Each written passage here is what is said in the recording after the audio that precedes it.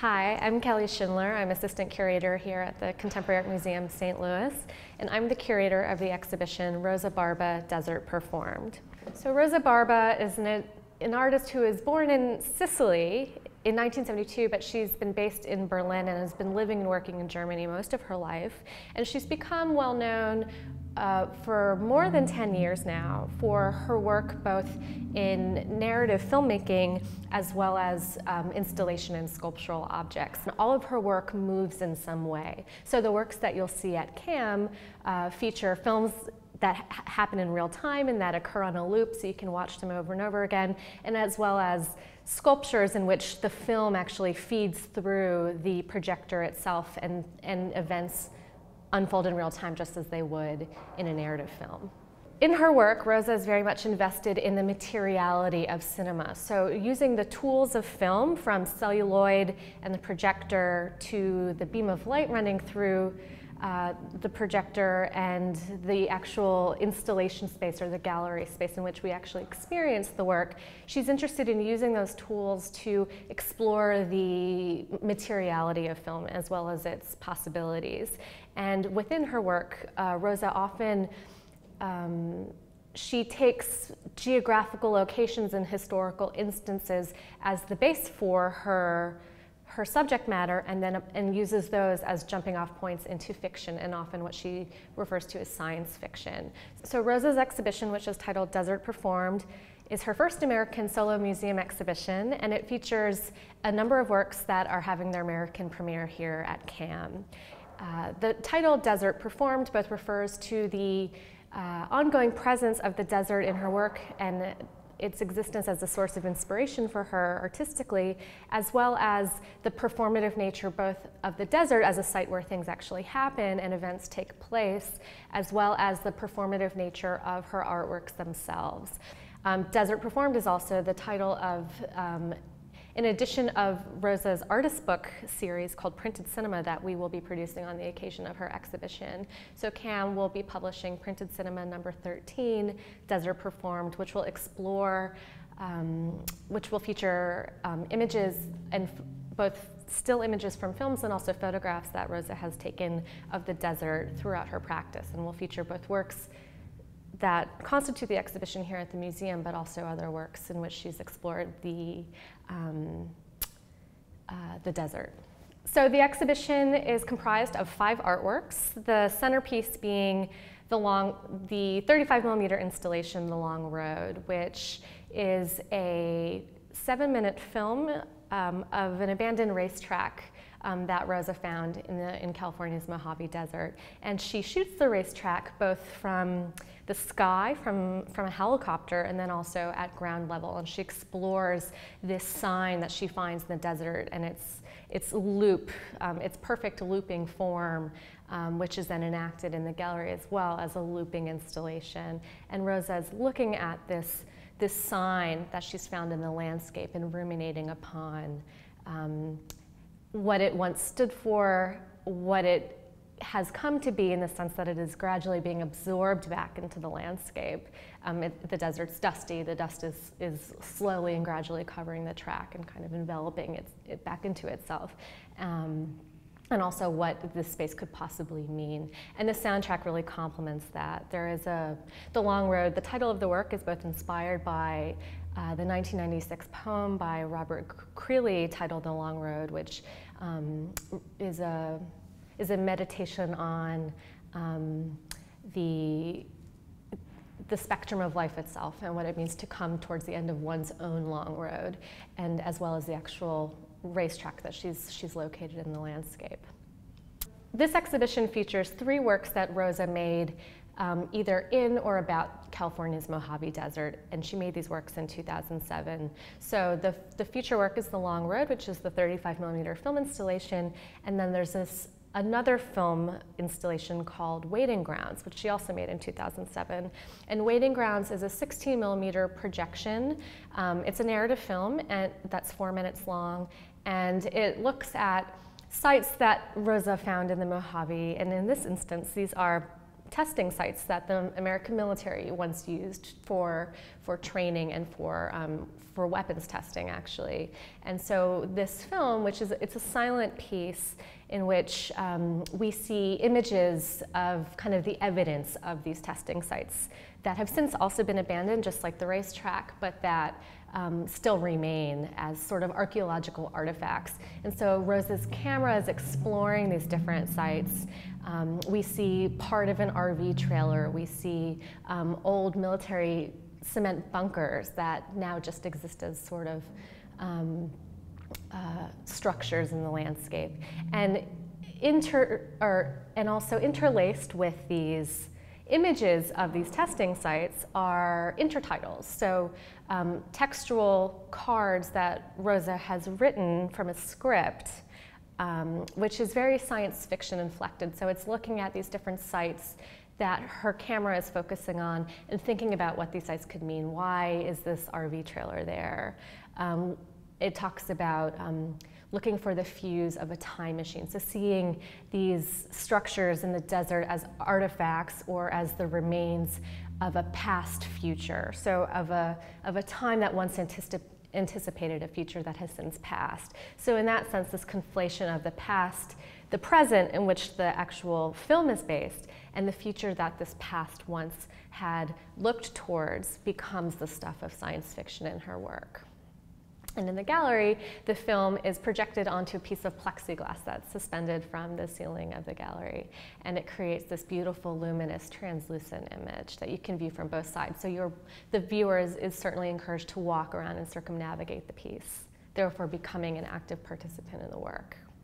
The piece Western Roundtable, which Rosa also made about the Mojave Desert as part of her, her desert trilogy in 2007, um, is, is one of her projector sculptures. So whereas The Long Road and Waiting Grounds are uh, film projections that take place um, in, in, a linear fashion, although they are installed as a loop, uh, Western Roundtable is, is a very different kind of work, although it is also very much engaged in, in the events that took place at one point in the desert or may not have. Um, the piece in, is comprised of two 16 millimeter projectors that are installed in the corner of the gallery. So they're facing each other and they are projecting clear leader or what is blank film essentially. And so the piece is quite abstract and the soundtrack is is um, integrated into the actual celluloid that's running through the projectors.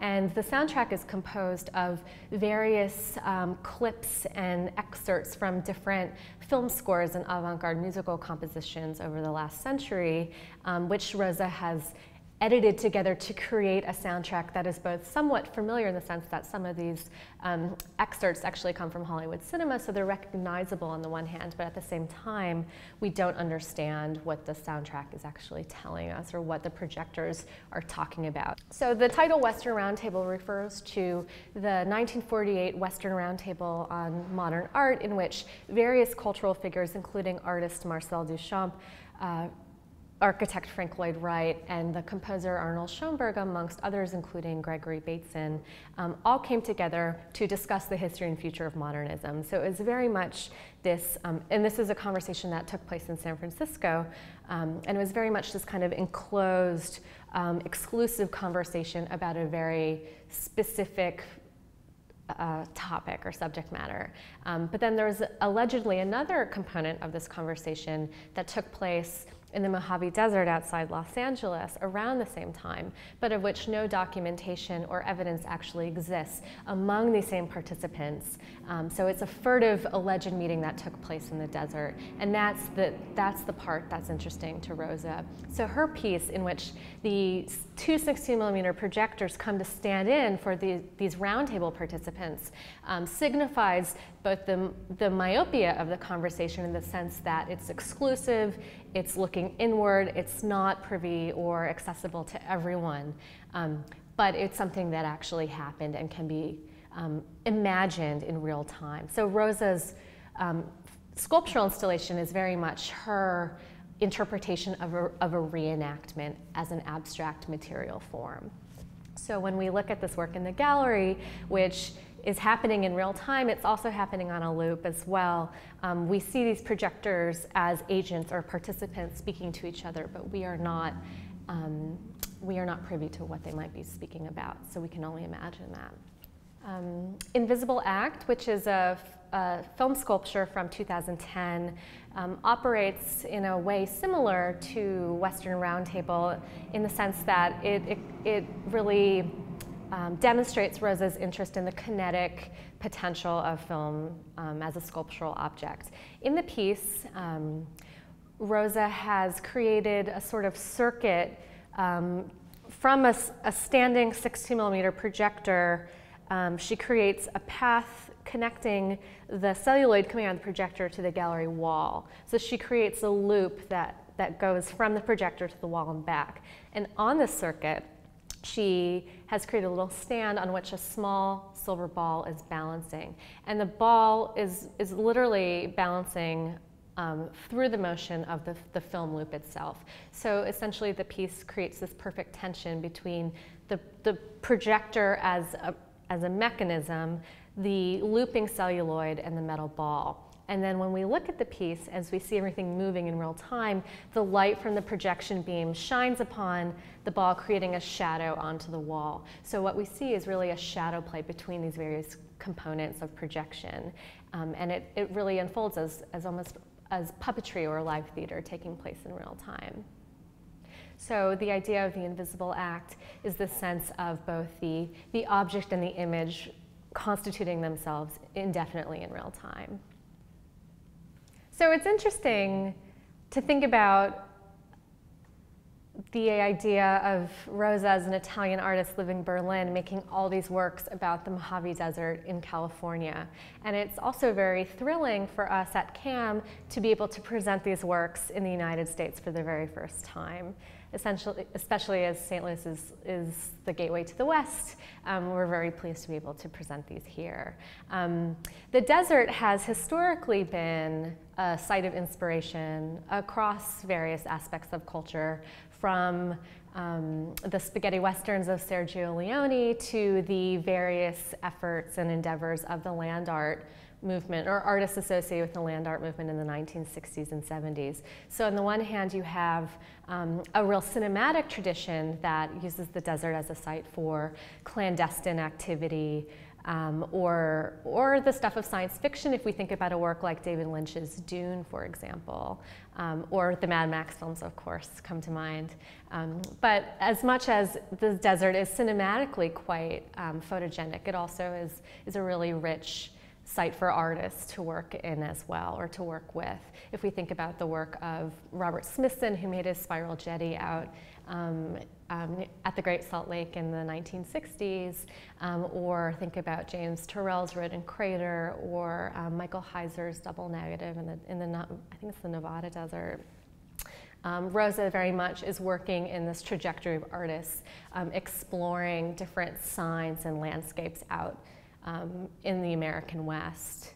What's different about Rosa's work, though, is that while many of these land artists, um, and I'm using them particularly as they really constitute a specific movement that, that is recognizable to us, um, whereas they were going out into the desert and creating works that many of which are still there today. If we think about Walter de Maria's Lightning Field, for example, is you can still go there every summer. Um, and of course, the spiral jetty is, is, is still visible at certain times of the year. Um, while those works very much act as a sort of inscription into the landscape in which artists left their mark, Rosa is excavating the signs and symbols from the desert that she finds there and brings them into the space of cinema. So she takes, so in the long work for, excuse me, in the long road, for example, she takes this racetrack that she finds in the, in the landscape, in the desert, and she shoots it on location as a filmmaker would, and then takes that, that imagery back into the studio and then works with it further. So the desert for Rosa is very much a starting point to be further elaborated on in the space of the studio, and then ultimately in the gallery itself. Um, and I think that's what makes her work so special.